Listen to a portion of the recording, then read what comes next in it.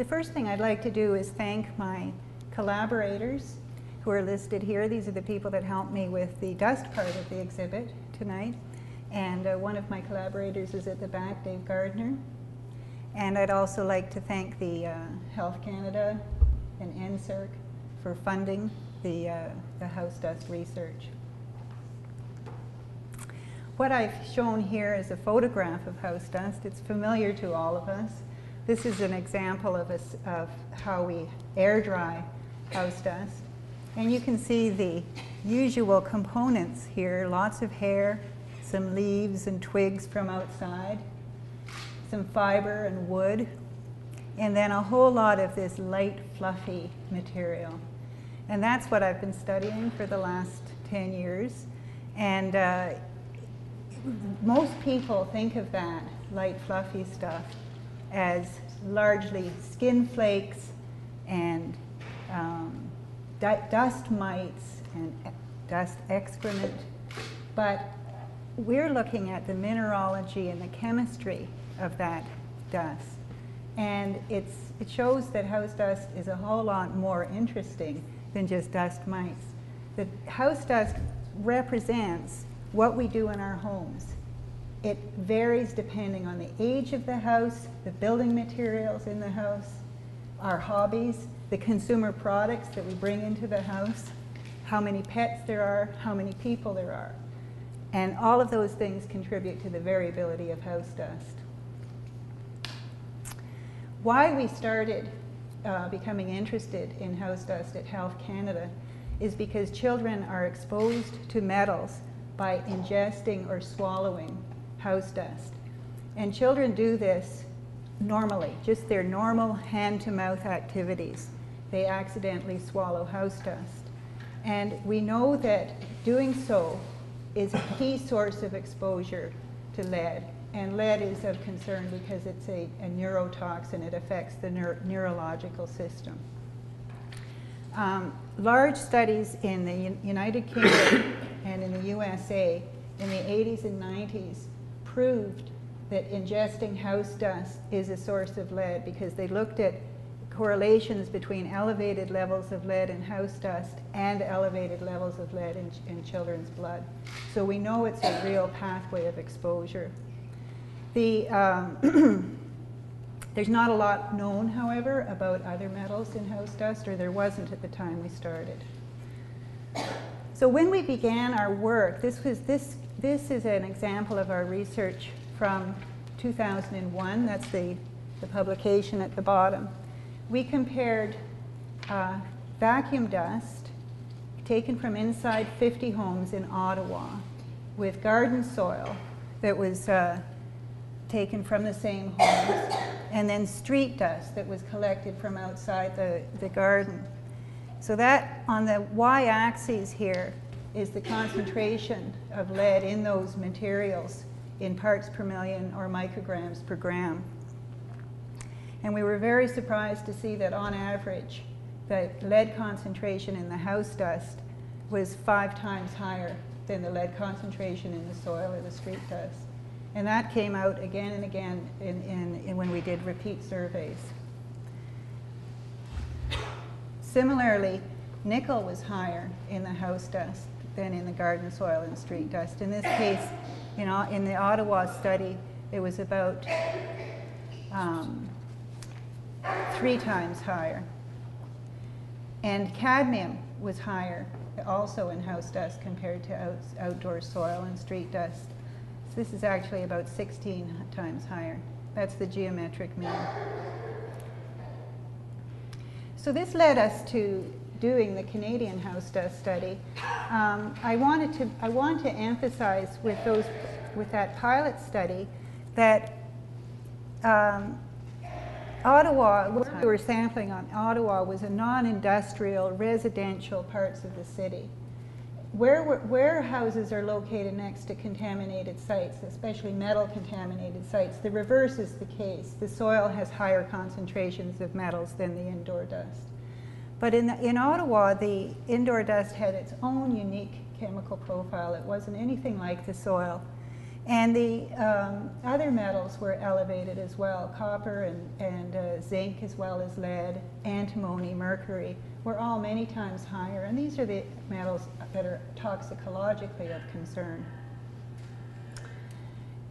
The, the, when we launched the Canadian house dust study, the goal was to get a nationally representative measure, an estimate of typical chemical concentrations in Canadian urban homes. We started off with lead as our first priority, and then we're now looking at other metals and organic compounds. So this is how, this map shows how we went about with this, this sampling. Um, our statisticians at Health Canada uh, designed a random sample, and we looked at cities with a population above 100,000 people. And this is because 80% of Canadians live in cities above 100,000 people.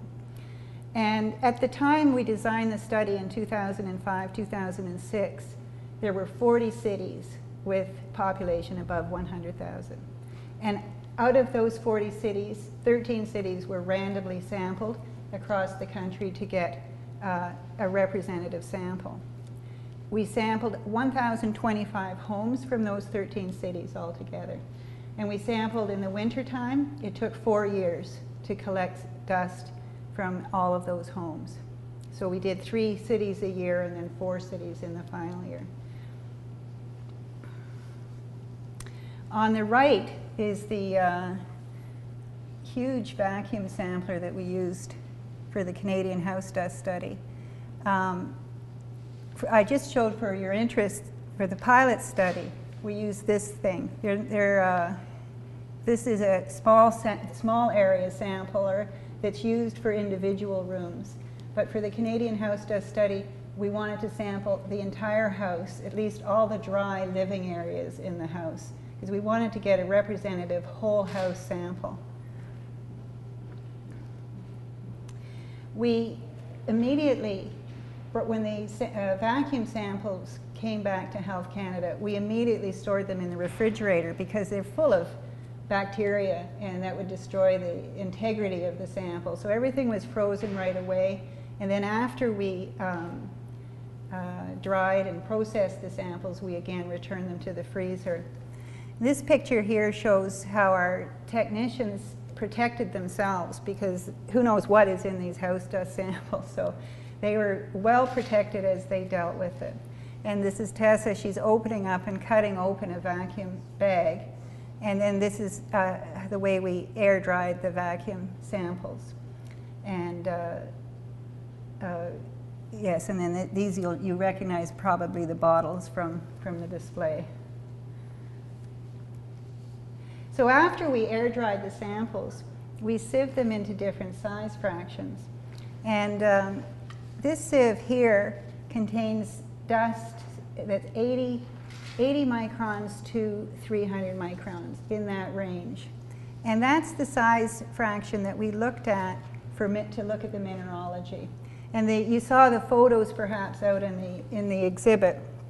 Those were taken by Michael. He's a master's student at University of Ottawa. And he will be delighted to see how beautifully those are exhibited. They're remarkably attractive photos considering it's house dust. One of the common minerals was, uh, that we found was quartz. Quartz minerals that are tracked in from outside. And we realized that we were sampling in the winter. So this was sand that had been used to de-ice the roads or uh, for ice control in the roads that had been tracked in. So that's why we found uh, beautiful quartz crystals at the microscopic level all across the Ontario cities. This uh, sieve on the right contains the fine fraction, less than 80 microns. That's what we used for chemical analysis. And the top one is the reject. That's the coarse stuff that eventually we threw away. So this is the instrument that we use to measure um, the metals. It's called an inductively coupled plasma mass spectrometer, or ICP-MS for short. And uh, we analyzed the uh, dust for a wide range of elements, not just lead, just about, about 68 elements altogether. When we went around to uh, each city to sample, ahead of time, before we sent out letters of invitation to recruit participants, we went to the city officials in each, in each place to let them know that we were coming. And um, we also, as soon as we got our lead results, we informed the participants what their lead, lead in the dust concentration was. And we also gave them advice on how to minimize exposure. The, uh, um, I can't read it. Yes, the, those participants that had elevated dust lead levels, we also felt that if, if some follow-up was needed, that they should go to the public health authority or, or to their family doctor to get uh, blood lead tested. The, uh, we gave um, this booklet that's shown here to every participant. It's a booklet that's available on the internet if you look at the Health Canada website or the Canadian Mortgage and Housing Corporation website. It's a joint publication describing sources of lead in the home and how to minimize exposure. And the uh, participants and the cities all responded very positively. People are really interested in the indoor environment and contamination levels and appreciated the information. What we found in the house dust was many, many sources of lead contribute to house dust. One, in older homes especially, uh, lead pigment and, and uh, the white pigment in, in older homes is often either lead carbonate or lead sulfate. And in uh, pre-World War II homes, this, the lead paint was sometimes 50% lead, and lead content. So it's not surprising the dust was elevated in lead. But even in modern homes, we find lead pigments um, because it still exists in artist paints and hobby paints and so on. And lead is also used as a drying agent a stabilizer, an extender. So it's, it's used for other purposes other than just pigments. Um, and it's found in plastics like and PVC vinyl as well. We also found compounds of lead that indicated that lead had been tracked in with soil particles. And uh, the other type of lead we found was lead metal. Uh, in one place, we we could track it to lead solder. We actually found the globules of solder. And this was a, a family who was extremely careful about the products they brought into the home, but they had not cleaned up after, just after their most recent project, and, and we found a 3,000 parts per million lead in their house dust. Um, there were also lead metal particles that we, it was very difficult to identify, but there's a large number of different sources, and you probably heard in the media reports of lead in children's toys and jewelry. Um, so that can easily get ground up and into house dust. For those that are interested, this study's been published just recently in May 2011. And uh, there's just a few numbers for those uh, details. Across that top row there, those numbers add up to 1,025 homes. And nine, 924 of those, or 90%, had less than um, less than 250 parts per million, or micrograms per gram in the dust. So we call that group background. And then those homes that had above 250 parts per million, we called elevated, and then a small proportion, about 3%, had anomalous levels, uh, very, very elevated levels of lead. Um, notice here the year built, uh, the, that's the, how, the age of the home. The younger homes, 1969 on average, were in the background. But as we get into the elevated and anomalous categories of dust lead, the uh, homes were uh, quite a bit older. Uh, the average age was 1918, average year of, of, of, being built for the anomalous homes. As a general rule, house age, um, the older the home, the higher the dust lead. but there are exceptions. And we found actually uh, about 10% of the homes in the elevated and anomalous category were built after 1980. So that shows that there's other sources of lead other than old paint that's getting into people's house dust. One of the important things, we wanted to take a look at, at the anomalous category because those are the homes that need attention. And it was interesting to note that the participants reported in the case of the anomalous category, 71% had done renovations in the past year. So we think that what happened was that the lead paint was loosened and got into the dust during the renovations and didn't get properly cleaned up. And linked to the fact that the old, older homes had higher lead, the older city core, a lot of the anomalous homes are located in city cores, whereas the background homes were uh, only 25% were located in city cores. So to summarize then, the, um, the, we have a statistical baseline for lead and we're moving on to having a statistical baseline for other, other um, um, metals and organic compounds. And by that I mean a representative sample, a representative estimate of typical Canadian house dust. 90% fell into the background category, less than 250, and 10% were above 250 parts per million. In the older homes, the, the most common com lead compound was paint pigments, especially lead carbonate. But in the younger homes, there were a variety of lead compounds, including solder and lead metal from, from other consumer products.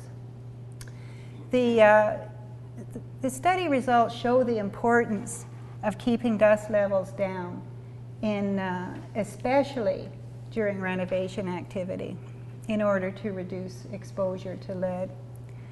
And there's also evidence in the house dust of, of lead being tracked in from outdoors. And again, removing boots and shoes at the, at the door and, and, and vacuuming and, and, and dry mopping helps reduce the exposure to that source. So finally, I wanted to show you our own collection of of things that we found in the coarse fraction. That was in the reject fraction. Uh, the, the team, as, we, as they processed that 1,025 homes, picked out the little gems that we found. In one case, we found a gold necklace. We returned that to the, to the homeowner. But um, it it's a reminder of the variety of things that at the, at the macroscopic scale that we see, but it's, it, even in the very microscopic level, we see organics, we see plastics, we see metals. One house had a I am Canadian beer cap, so we know that's the Canadian house dust study. And textiles.